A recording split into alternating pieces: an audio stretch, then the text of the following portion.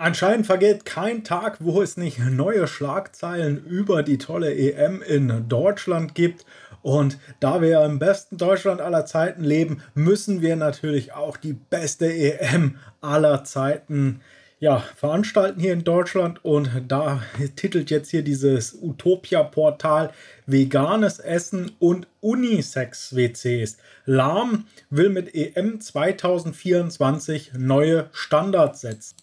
Die ganzen Skandale fingen ja hier an mit diesem unsäglichen und schlecht gelungenen Paradiesvogel-Trikot, das ich auf keinster Weise anziehen würde, wenn ich Sportler wäre. Und da kam ja jetzt sogar noch hier ein ganz ansehnlicher Vergleich raus, dass hier diese bisexuellen Flagge eigentlich wunderbar mit dem neuen DFB-Trikot hier passt. Aber wie der Spruch hier unten drunter schon sagt, vielleicht bild ich mir das ja nur ein.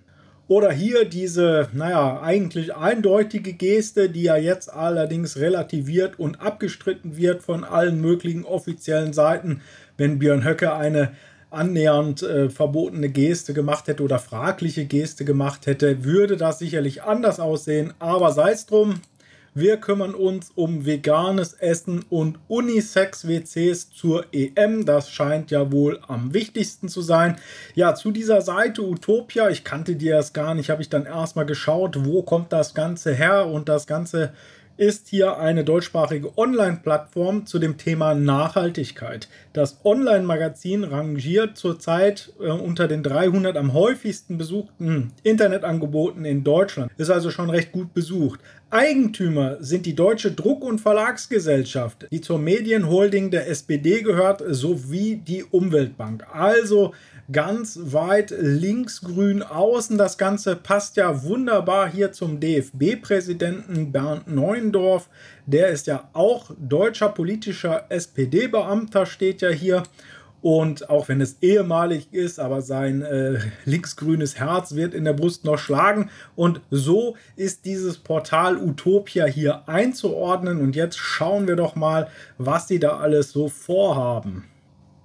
Der gute Philipp Lahm ist jetzt seines Zeichens da Turnierdirektor und ist dann halt dafür zuständig, diese ganze Organisation rund um die EM da durchzuführen und er will neue Standards einführen in puncto Nachhaltigkeit und sozialer Gerechtigkeit. Zu diesen Maßnahmen zählen veganes Essen und geschlechtsneutrale Toiletten. Ja, liebe Freunde, liebe Fußballfans, endlich ist es soweit. Ich denke mal, ihr habt alle dafür darauf sehnlichst gewartet, dass ihr eine geschlechtsneutrale Toilette habt und endlich auch einen Salat beim Spiel essen könnt. Also diese ganzen Leute wollen einem dann Fußball äh, gucken doch sowas von madig machen. Also ich bin sowieso kein großer Fußballfan, aber das gibt mir alles den absoluten Rest. Niemals würde ich da noch irgendwas gucken, geschweige denn ins Stadion gehen und da noch Geld für ausgeben, dass so ein Schwachsinn da umgesetzt wird. Dieser Satz gefällt mir hier besonders gut. Gemeinsam mit seinem Team habe er alles dafür getan, dass die EM in Sachen Nachhaltigkeit eine Vorbildrolle einnehmen werde, erklärte er laut Pressemitteilung des äh, Bundestags in einer öffentlichen Sitzung des Parlamentarischen Beirats für nachhaltige Entwicklung. Wir wollen für nachfolgende Sportveranstaltungen auch in anderen Ländern Standards setzen, so lahm. So, das heißt, diese ganze woke Regenbogenideologie wird da jetzt massiv beworben, damit dieser Schwachsinn dann auch in die Welt getragen wird und das alles wieder mit Bundesmitteln, also mit Mitteln aus unseren Steuergeldern, gehe ich jetzt mal davon aus, sonst warum sollte sich der Bundestag auch mit so einem Schwachsinn beschäftigen? Wenn wir da nicht eine Ampelregierung hätte, die ja nichts anderes zu tun hat, als solchen Schwachsinn da zu betreiben und wichtige Politik wie Arbeitsplätze schaffen oder die äh, Wirtschaft am Laufen halten, die Inflation zurückdrängen, alles nicht hinbekommt. Da kann man ja mit so einer EM und diesem ganzen Regenbogen Gaga Gaga kann man da wunderbar von seinem eigenen Versagen ablenken. Sein Organisationskomitee hat das Ganze auch mit dem DFB und der UEFA abgesprochen. Unterteilt ist das Ganze in die Bereiche Umwelt, Soziales und Unternehmensführung. In Sachen Umweltschutz kann man eigentlich gar nichts groß dagegen sagen. Also Ticketinhaber, die dürfen dann auch den öffentlichen Nahverkehr nutzen und kriegen Züge im Fernverkehr zu reduzierten Preisen. Erstmal nicht schlecht. Dann wurden die Spiele so organisiert, dass die DFB-Spieler oder diese ganzen Fußballspieler da nicht von einem Stadion zum anderen groß hin und her reisen müssen. Ja, dann wird es fraglich, da ist ein sogenannter Klimafonds eingerichtet worden, wo dann irgendwelche angeblichen CO2-Emissionen irgendwo dann wieder kompensiert werden. Wasserverbrauch wurde optimiert, das ist immer so eine Frage.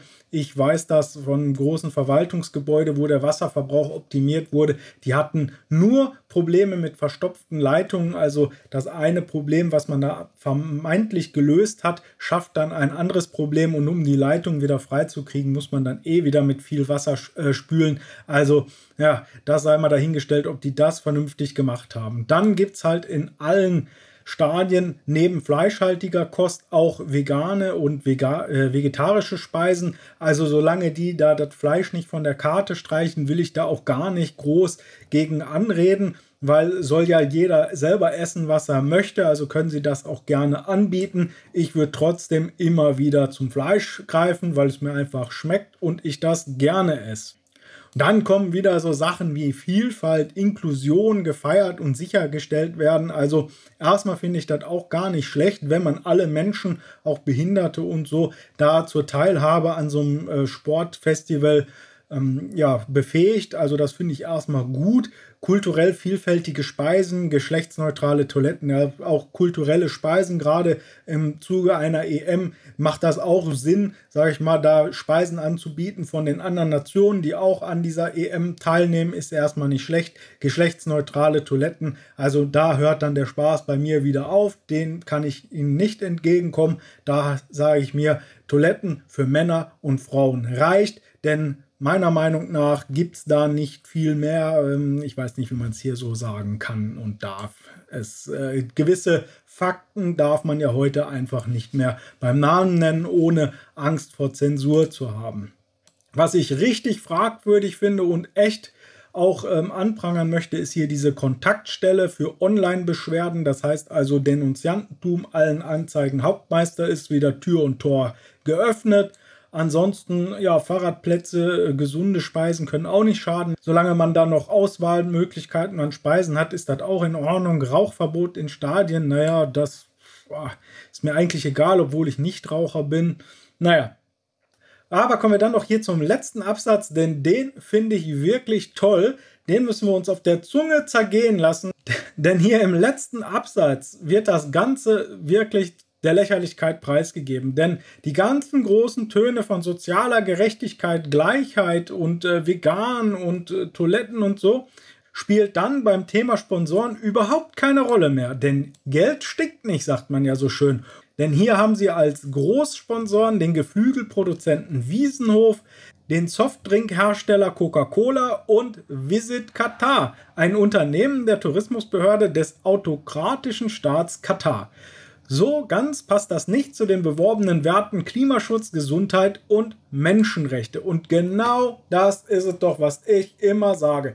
Die Leute heucheln uns einen vor. Wenn sie doch so konsequent ihre komischen Ideologien durchsetzen wollen, warum lehnen sie dann diese Sponsoren nicht ab und sagen, nein, eure Produkte, euer Umgehen mit der Natur, euer Umgehen mit den Mitarbeitern oder im Fall von Katar eure ganze Staatsführung, das widerspricht allen unseren Werten, die wir mit der EM hier kundtun wollen. Da können wir euch keine Werbeplattform bieten. Aber nein, das tun sie nicht. Das Geld von solchen für die fragwürdigen Unternehmen nehmen sie mit Kusshand. Aber uns wollen sie mit ihrer ganzen Wogen-Propaganda diese fragwürdigen Werte aufdrängen, diese Lebensweise aufzwingen. Wir sollen da nicht gegen angehen, wir sollen nicht dagegen sprechen, wir sollen das mitmachen, wir sollen das toll finden und alle, die das nicht toll finden, sind blöde Aluhutträger, Schwurbler, ihr kennt die ganzen Bezeichnungen. Aber wenn das Geld von gewissen Unternehmen kommt, dann ist es egal. Und wie ich schon gesagt habe, Geld stinkt nicht. Ja, liebe Freunde, Was haltet ihr von dem ganzen EM-Treiben da mit veganem Essen und Unisex-Toiletten? Schreibt es doch gerne mal unten in die Kommentare und teilt gerne das Video, damit auch andere Leute von diesem Gegensatz erfahren, dass hier einmal eine woke Ideologie betrieben wird, dann aber das Geld von jedem, der zahlt, genommen wird. Und das muss doch mal bekannt werden. Ansonsten würde ich mich über einen Daumen nach oben freuen.